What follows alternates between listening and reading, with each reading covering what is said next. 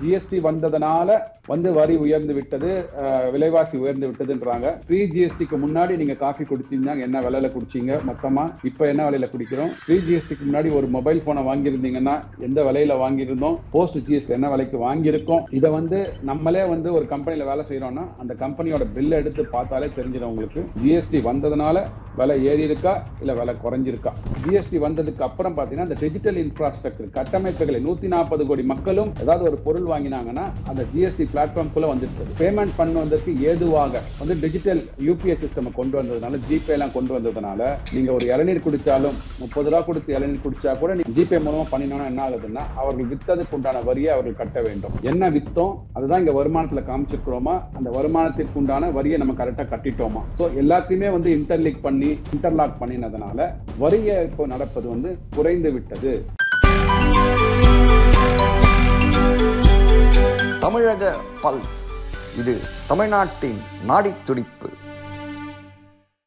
தமிழக பல்ஸ் நேயர்களுக்கு வணக்கம். நம்முடன் இன்று இணைந்திருப்பவர் பொருளாதார நிபுணர் திரு. சுப்பிரமணியம் சார் அவர்கள். இவர்கிட்ட நிறைய விஷயங்கள் கேட்க வேண்டியதாக இருக்கு. வாருங்கள் இவரிடம் கேட்கலாம். சார் உங்களை வரவேற்பதில் பெருமிதம் அடைகிறோம். சார் வணக்கம் சார். வணக்கம் வணக்கம் சுபா மேடம். சார் அது என்ன சார்? ஜிஎஸ்டி க்ரீமுங்கிறாங்க பன்னுங்கிறாங்க க்ரீம் பன்னா இருக்கும்போது ஜிஎஸ்டி கிடையாது. க்ரீம் சேர்த்தா ஜிஎஸ்டி ரொம்ப விசித்திரமா இருக்கு. முன்னாடி இல்லாம அது பரவாயில்ல. ஸ்டேட் டாக்ஸ் அந்த மாதிரி கட்டிட்டு இருந்தோம். இப்போ இந்த ஜிஎஸ்டி வந்த அப்புறம் தொட்ட தொண்ணூறுக்கும் ஜிஎஸ்டின்னு இருக்கு இல்லையா?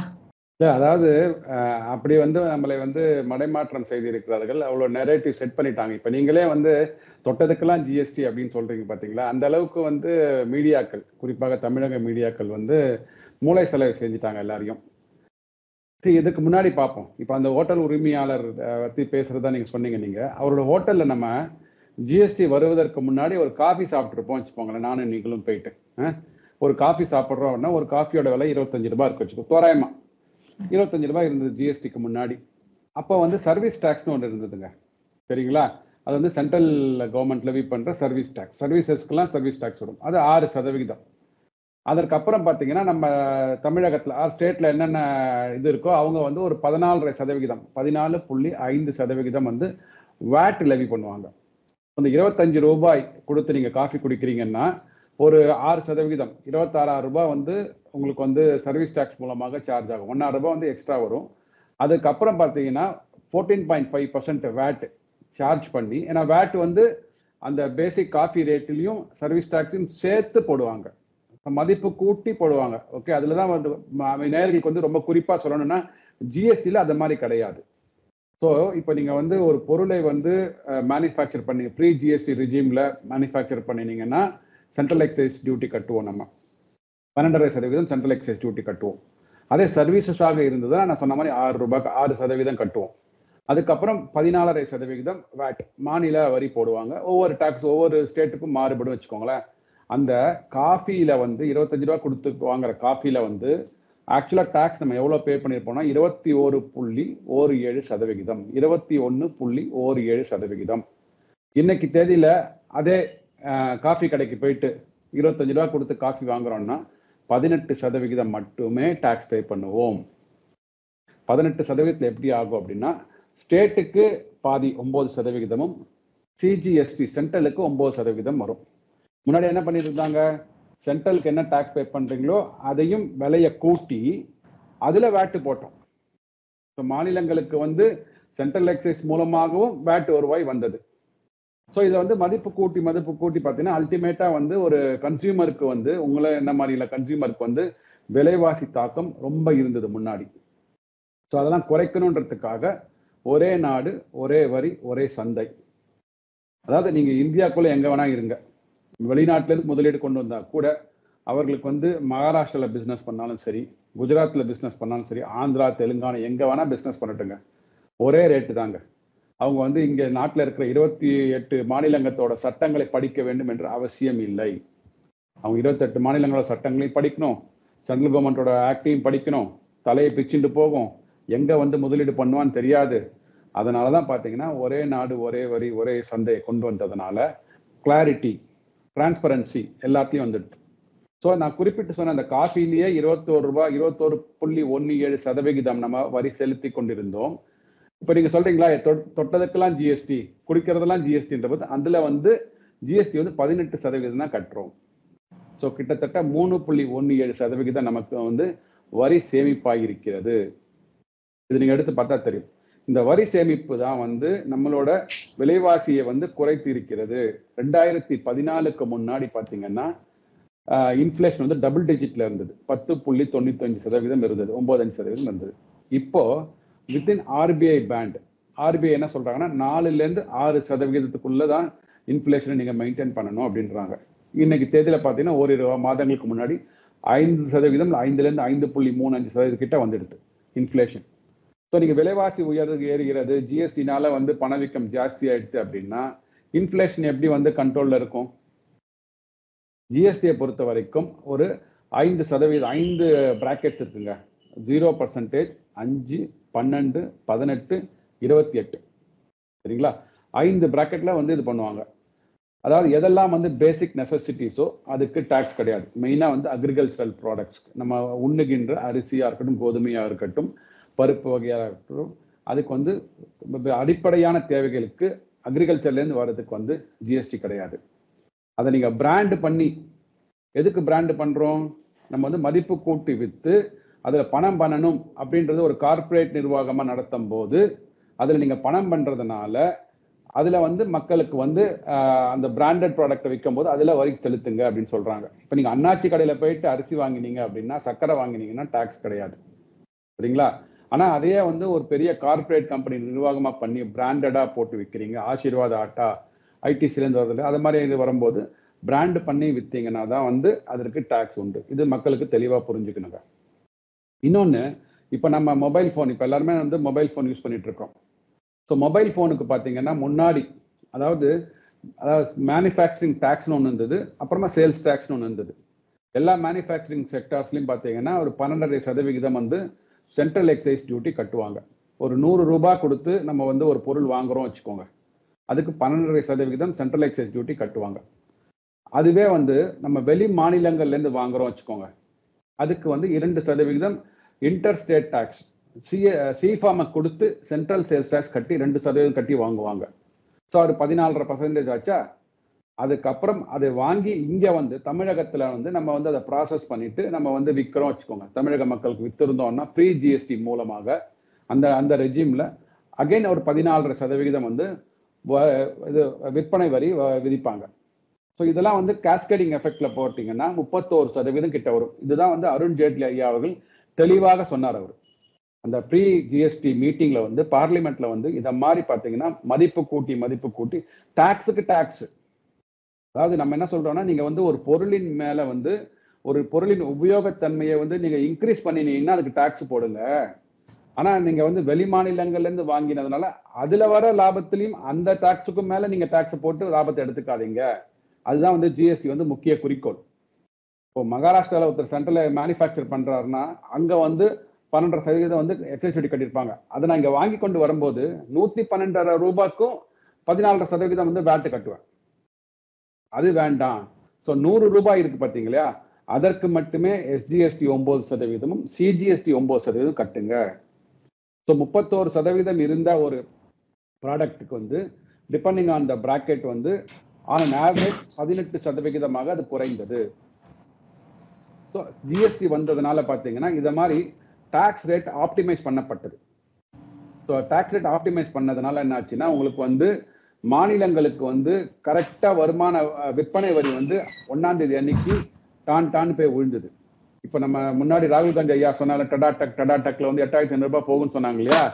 அது வந்து இந்த ஜிஎஸ்டிக்கு பொருந்தும். ஒன்னாம் தேதி அன்னைக்கு எல்லா மாநிலங்களுக்கும் பார்த்தீங்கன்னா உங்களுக்கு எஸ்ஜிஎஸ்டி எவ்வளோ வர வரும் அப்படின்ற தரவுகளை வந்து பிரஸ் இன்ஃபர்மேஷன் பியூரோ மூலமாக மினிஸ்ட்ரி ஆஃப் ஃபினான்ஸ் வந்து தகவல்களை தெரிவிக்கிறார்கள். அப்புறம் சிஜிஎஸ்டி மேலே போகுது பார்த்தீங்க இல்லையா அதில் வந்து ஒரு நாற்பத்தி ஒரு சதவிகிதம் மாநிலங்களுக்கு திருப்பி வரி வந்து பகிர்ந்து அளிக்கப்படுகிறது. ஸோ இது மாதிரி டிரான்ஸ்பரண்ட்டாக நம்ம வந்து டேட்டா இருக்குது. ஆனால் வந்து இங்கே ஒரு நெகட்டிவ் நெரேட்டிவ் செட் பண்ணுறதுனால ஜிஎஸ்டி வந்ததுனால வந்து வரி உயர்ந்து விட்டது விலைவாசி உயர்ந்து விட்டதுன்றாங்க. கண்டிப்பாக வந்து நான் சொல்கிற மாதிரி ப்ரீ ஜிஎஸ்டிக்கு முன்னாடி நீங்கள் காஃபி குடிச்சிருந்தாங்க என்ன விலையில் குடிச்சீங்க? மொத்தமாக இப்போ என்ன விலையில் குடிக்கிறோம்? ப்ரீ ஜிஎஸ்டிக்கு முன்னாடி ஒரு மொபைல் ஃபோனை வாங்கியிருந்தீங்கன்னா எந்த விலையில் வாங்கியிருந்தோம்? போஸ்ட் ஜிஎஸ்டி என்ன விலைக்கு வாங்கியிருக்கோம்? இதை வந்து நம்மளே வந்து ஒரு கம்பெனியில் வேலை செய்கிறோன்னா அந்த கம்பெனியோட பில் எடுத்து பார்த்தாலே தெரிஞ்சிடும் உங்களுக்கு. ஜிஎஸ்டி வந்ததுனால விலை ஏறி இருக்கா இல்லை விலை குறைஞ்சிருக்கா? இந்த தெளிவு வந்து மக்களுக்கு கொஞ்சம் கிடைச்சா நல்லா இருக்கும். அதை வந்து அரசியல்வாதிகளாக இருக்கட்டும் இல்லை பொருளாதார நிபுணர்களும் ஃபேக்டை ஃபேக்டாக வைக்கணும். அது வச்சாங்கன்னா மக்களுக்கு புரிய ஆரம்பிக்கும். அந்த புரிவதை வந்து தடுக்கிறார்கள். அவ்வளவுதான் அதான் பாக்குறேன் நான் ஜிஎஸ்டியை பொறுத்த வரைக்கும். சார் நீங்க ரொம்ப தெளிவா அழகா நிறைய விஷயங்களை சொன்னீங்க. பிஃபோர் ஜிஎஸ்டி என்னென்ன மாதிரியான வரி எல்லாம் நம்ம கட்டினோம்? இப்போ எதுல எல்லாம் குறைஞ்சிருக்கு? எந்த இடத்துல நம்ம வரியே இல்லாம அந்த ப்ராடக்ட்டை வாங்குறோம்? அதை மதிப்பு கூட்டும் போது இல்ல அதை பிராண்ட் பண்ணி வைக்கும் போது தான் ஜிஎஸ்டி வருதுன்னு சொல்லிட்டு. கள்ளச்சந்தையில் பொருட்கள் புழக்கம் அப்படிங்கிறது ரெகுலரா இருந்துட்டு இருந்தது. நம்ம அடிக்கடி ஆஃபனா முன்னாடி ஒரு காலங்கள்ல நம்ம செய்தித்தாள்கள்ல அடிக்கடி பார்ப்போம். கள்ள மார்க்கெட்ல இந்த பொருள் வித்தாங்க கள்ளச்சந்தையில வித்தாங்கன்னு சொல்லிட்டு. இப்போ கள்ள மார்க்கெட்ல அந்த பொருள்லாம் வரது இல்லைங்களே? காரணம் ஜிஎஸ்டியா சார் ஆமா இல்ல அது காரணம் ஜிஎஸ்டி அது எதனால வந்து நடைமுறையில சாத்தியப்பட்டதுன்றதை நம்ம பார்ப்போம். இப்போ முன்னாடி சொன்ன பார்த்தீங்கன்னா சென்ட்ரல் எக்ஸைஸ் இருக்கும் சர்வீஸ் டாக்ஸ் இருக்கும். சேல்ஸ் டேக்ஸ் இருக்குது இதான் ப்ராடாக மூணு டேக்ஸுங்க பெரிய சட்டங்கள். அதில் பார்த்தீங்கன்னா அந்த ஒரு அந்த அதில் வந்து வணிகம் செய்கின்ற நிறுவனங்கள் வந்து மூணு வகையான ரிட்டர்ன்ஸ் மந்த்லி ரிட்டர்ன்ஸை வந்து ஃபைல் பண்ணணும். அப்புறம் ஆனுவல் ரிட்டர்ன்ஸ் ஃபைல் பண்ணுவாங்க. அப்புறமா அதுக்கான கன்சல்டன்ஸ் அப்பாயிண்ட் பண்ணி ஆடிட்டர் தணிக்கை குழு அப்பாயிண்ட் பண்ணி ஆடிட் பண்ணிட்டு தரு எல்லாம் இன்ஃபர்மேஷனை கொடுப்பாங்க. இப்போ நீங்கள் அப்படிலாம் பண்ணவே வேண்டாம்.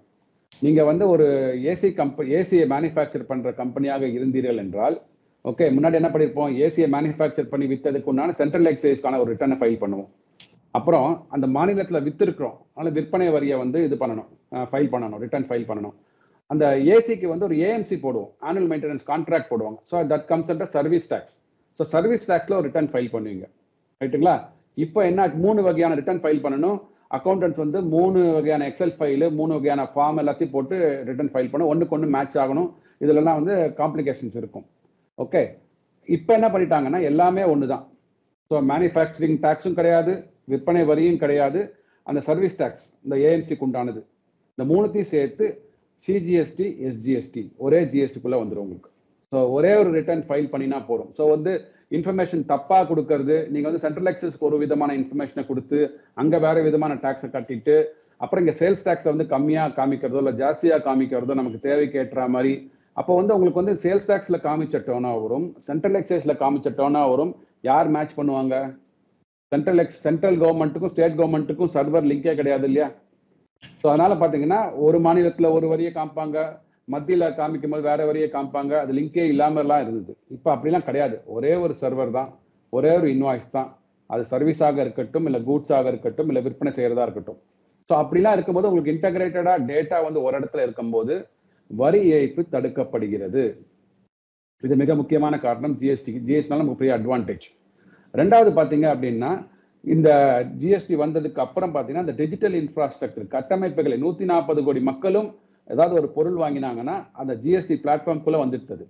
ஜிஎஸ்டி பிளாட்ஃபார்ம்குள்ளே வந்தது என்ன ஆகுதுன்னா அதுக்கு வந்து பேமெண்ட் பண்ணுவதற்கு ஏதுவாக வந்து டிஜிட்டல் யூபிஐ சிஸ்டம் கொண்டு வந்ததுனால ஜிபேலாம் கொண்டு வந்ததுனால நீங்கள் ஒரு இளநீர் குடித்தாலும் முப்பது ரூபா கொடுத்து இளநீர் குடித்தா கூட நீங்கள் ஜிபே பண்ணி அதை டிரான்சாக்ஷன் பண்ண முடிக்கிறது ஒரு காஃபி போயிட்டு ஒரு இருபது ரூபா முப்பது ரூபா காஃபி குடிக்கிறோம் வச்சுக்கோங்க ஹோட்டலில் ஜிபே மூலமாக பண்ணினோம்னா என்ன ஆகுதுன்னா அவர்கள் விற்றதுக்கு உண்டான வரியை அவர்கள் கட்ட வேண்டும். நான் கட்டின வரி கரெக்டாக அரசாங்கத்துக்கு போதா அந்த ஜிபே மூலமாக பார்க்க முடியும். ஸோ இதனால் பார்த்தீங்கன்னா எல்லாமே வந்து டிஜிட்டல் டிரான்சாக்ஷன் மூலமாக இன்டகிரேட்டடாக ஆனதுனால உங்களுக்கு வந்து வரி ஏய்ப்பு வந்து குறைக்கப்பட்டது. நீங்கள் சொல்கிற மாதிரி நம்பர் டூ டிரான்சாக்ஷன் குறைஞ்சாச்சு. சரி நம்பர் டூ டிரான்சாக்ஷன் எப்படி சொல்றோம் அப்படின்னா இதெல்லாம் நம்ம வந்து விற்பனையும் மேனுஃபேக்சரிங் வரியை மட்டும் பேசிட்டு இருக்கோம். இது அதை தாண்டி இதன் மூலமாக ஈட்டுகின்ற வருமானம் இன்கம் டேக்ஸ் இருக்கு இல்லைங்களா? அதுக்கு ஒரு கணக்கு காமிச்சினாங்க முன்னாடி. இப்போ அப்படிலாம் இல்லை.